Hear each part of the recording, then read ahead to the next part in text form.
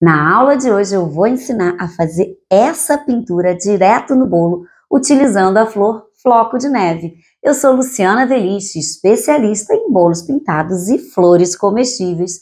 E aqui, se você não assistiu a aula em que eu ensinei a fazer exatamente essa florzinha aqui, só que no caso em porcelana fria, o link vai estar tá aqui embaixo na descrição ou aqui em cima, olha, no card aqui em cima, mas depois que você assistir essa aula, aí sim, vai lá e assiste para descobrir como faz essa flor tão delicada.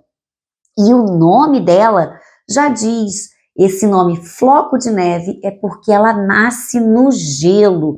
Ela tem esse efeito como se fosse um sinozinho pendurado e fica muito interessante, por exemplo, para bolos de casamento.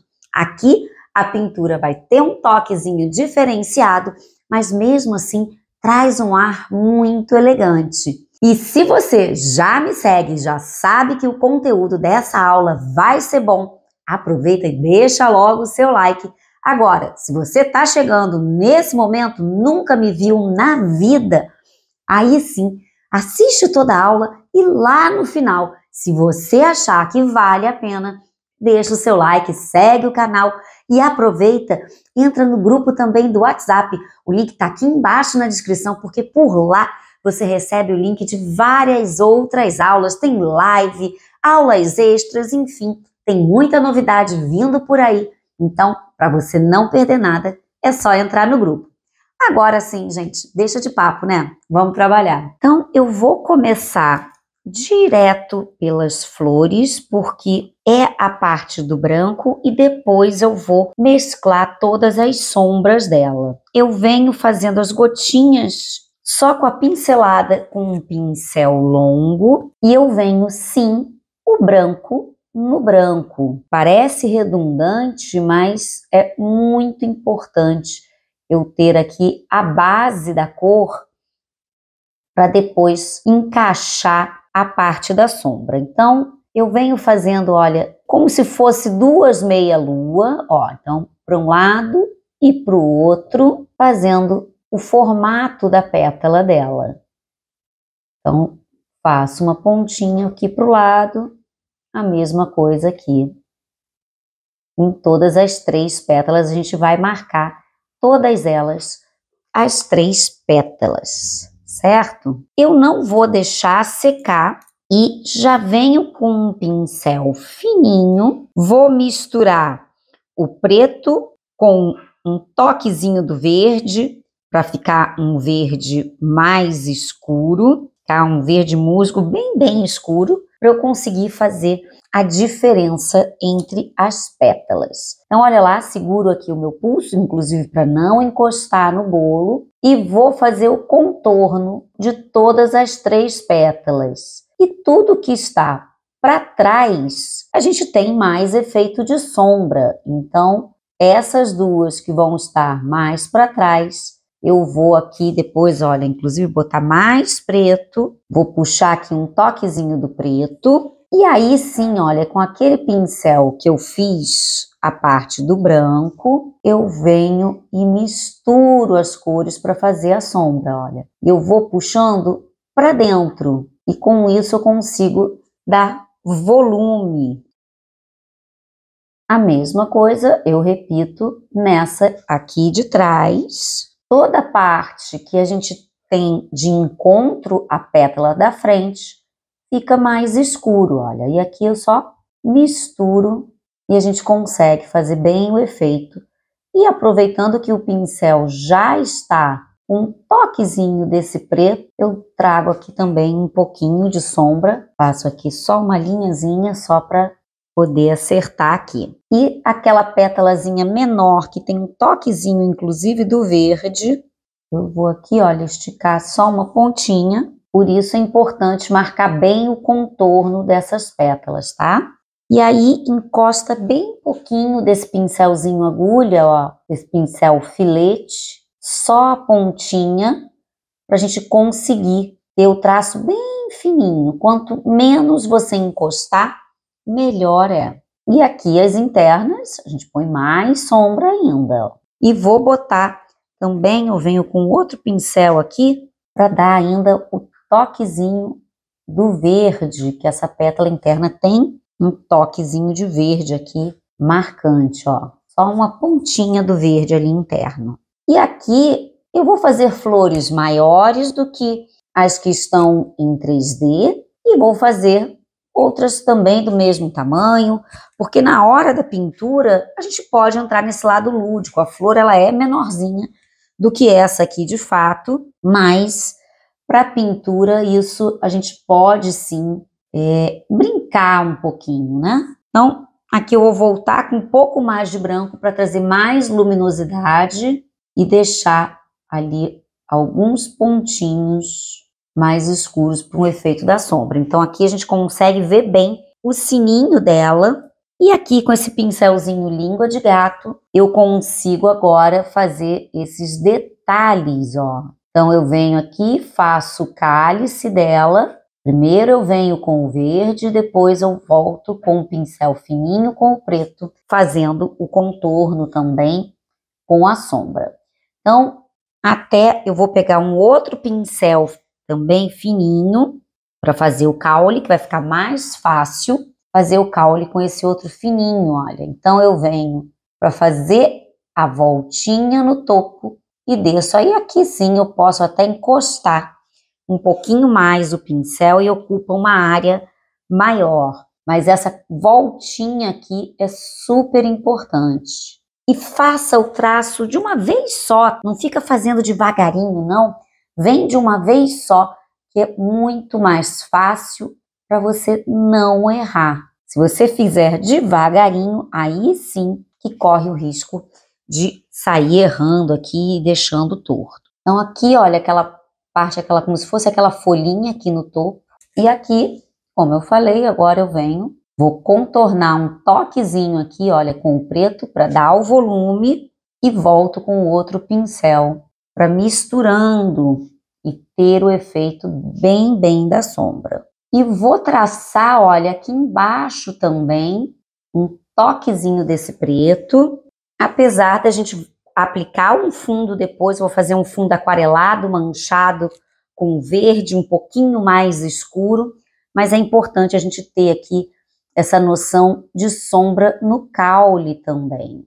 Então, primeiro eu vou marcar todas as flores e depois eu vou fazer umas flores acima do fundo, ou seja, a gente vai fazer todo o fundo aqui, eu tô querendo algumas flores de destaque, mas depois eu quero para ter noção de profundidade, então algumas flores vão estar tá só em silhueta, tá bom? Então aqui, agora eu vou repetir esse processo com mais algumas, vou trazer um pouquinho aqui para a lateral para a gente poder brincar também com esse efeito dela bem pendular, assim, esse efeito bem de sino. E toda vez que você for criar qualquer arranjo de flor numa pintura, faça efeitos assim, uma para um lado, outra para o outro, para não ficar tudo no mesmo bloco, parecendo que você pegou tudo igualzinho, fez tudo uma cópia. Então, faz uma para um lado, outra para o outro,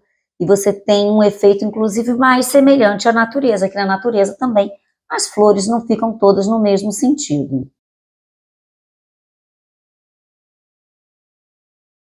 Só para acelerar o processo, eu vou fazer todos os sininhos e aí depois, aí sim, eu vou encaixar as folhagens e os caules, tá?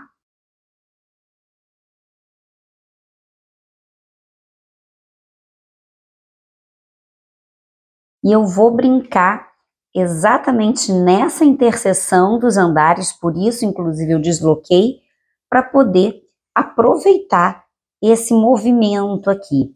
Então, eu vou colocar uma flor bem nesse ponto.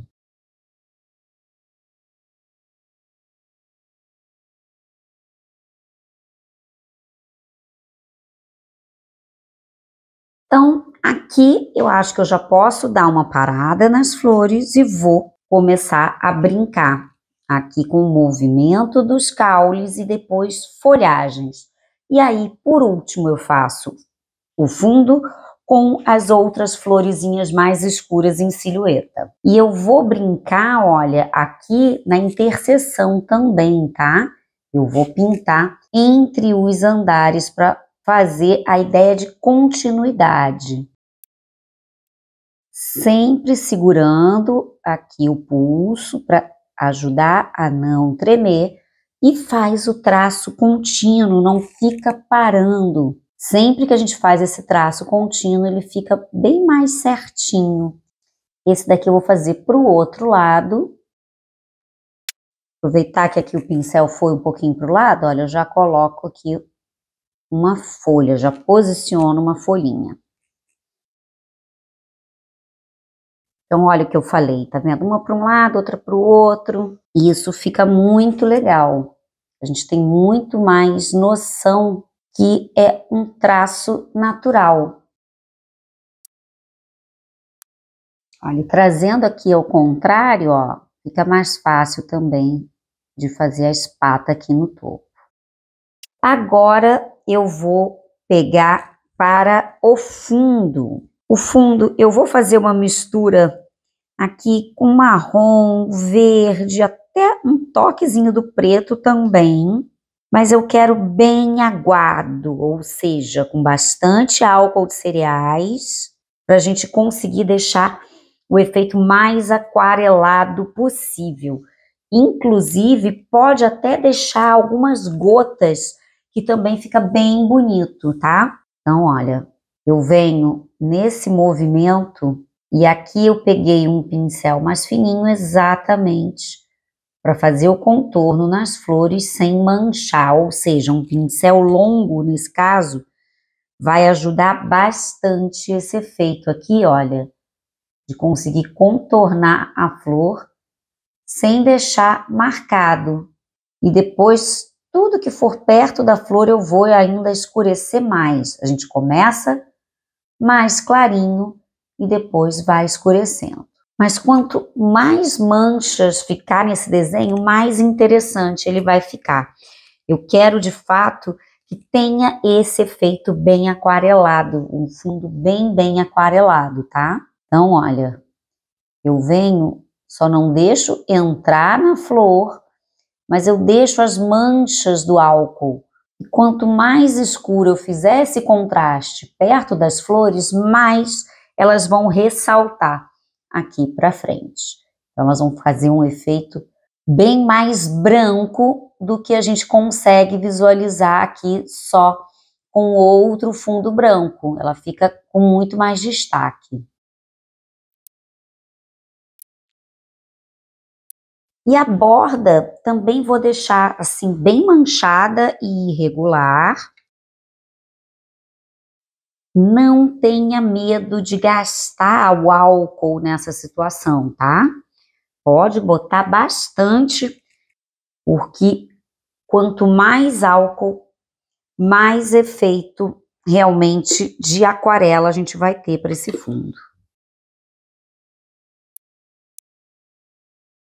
Caso escorra agora que escorreu um pouquinho, eu vim aqui rapidinho, olha, com o pincel que eu fiz o branco, e sequei para não manchar, tá? Como tá muito fluido, tá com bastante álcool, se acontecer de escorrer um pouquinho, tem como consertar, não se preocupa.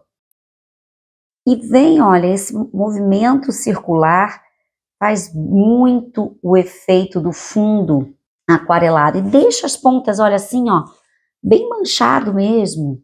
Não tem problema de achar que ah, ficou uma marca feia, eu quero tirar essa marca. Não, a aquarela fica de fato com essas manchinhas. Então, pode deixar um escorrido, marcado, também fica super bonito esse efeito.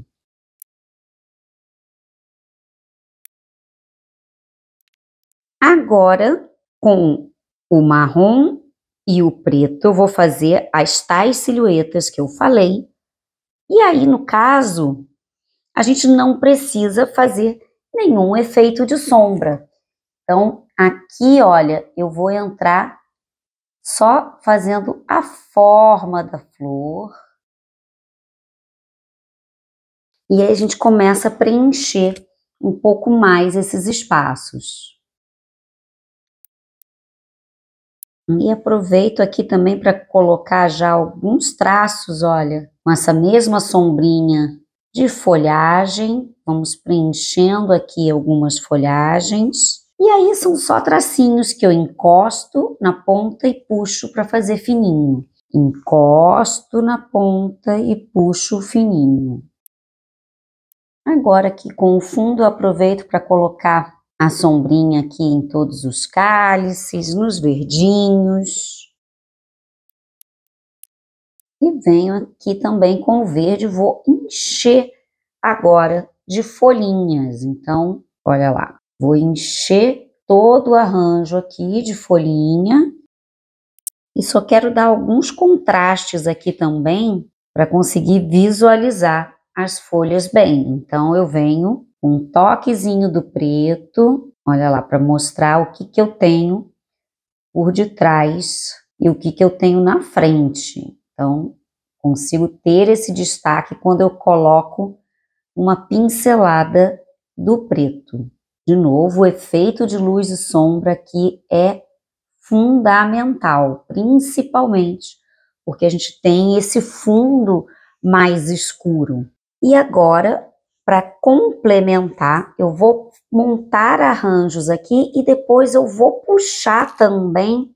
Eu já montei alguns raminhos, mas eu vou brincar com alturas e depois eu vou puxar alguns galinhos e folhinhas para complementar e se precisar também fazer algum pano de fundo, eu vou fazer. Mas aqui, olha, eu já vou deixar fazendo esse movimento. Olha, aqui então eu complemento o fundo. E vou brincar também, como eu falei, com alguns galinhos e folhagem também. Então eu venho aqui, olha, complemento E é legal também complementar para o lado oposto aqui também, tá? Para fazer acabamento nesse lado de cá. Acabei de ver que não estava aparecendo a parte de cima aqui, mas olha, eu botei uma no topo e fui descendo realmente só fazendo uma moldura aqui para o restante do bolo. Então, exatamente esse ponto de deslocar o bolo e descentralizar é muito legal quando a gente tem esse propósito de complementar com algum arranjo. Então, eu poderia ter colocado o arranjo na parte reta, mas eu preferi utilizar essa parte para pintura e aqui esse outro lado para as flores. Então, só para finalizar eu vou colocar um pouquinho mais de branco nas flores para destacar ainda mais. Então, esse toquezinho do branco é só para aumentar o contraste, olha lá. Então, eu não estou passando o branco em toda ela até para não tirar o efeito da sombra que a gente fez aqui. Mas eu só quero ressaltar ainda mais para esse branco vir à frente. E agora, como acabamento, eu vou colocar uma fita aqui na base da tábua. Então, vou prender aqui com cola bastão. É a forma mais prática que eu vejo de prender a fita, é exatamente com a cola bastão. Para ficar no verso, a emenda não ficar na frente do bolo, eu venho aqui para a parte de trás, seguro a ponta e só vou girando com a bailarina. Prontinho, aí olha como o acabamento dá um outro visual. E aqui, olha, esse efeito aquarelado, manchado, muita gente acha, ai não, não quero deixar o bolo manchado, mas isso é que vai trazer esse ar mais leve, despojado, e sim, aqui funciona perfeitamente para um casamento, porque as cores são sóbrias, esse tom, inclusive, com bastante sombra, traz essa sobriedade e deixa um ar bem refinado, bem chique. Inclusive, essa flor, ela também muito leve, sutil, traz esse ar mais sofisticado ao bolo. E esse bolo aqui, eu estou gravando um pouquinho antes, porque eu vou participar de um evento de noivas. Agora você está assistindo essa aula do domingo, ou seja, o evento já passou e eu postei lá no meu Instagram. Dá uma olhadinha porque vale a pena conferir e é exatamente falando sobre noivas. Então, por isso eu quis trazer algo bem sofisticado, porque é um evento que vale a pena. E se você quiser, dá uma olhadinha lá no meu Instagram, porque eu vou postar ele assim que acabar essa aula. Eu vou postar as fotos e o vídeo dele. E para quem ficou até o final, deixa o seu like e qualquer dúvida comenta aqui embaixo que eu vou te responder o quanto antes.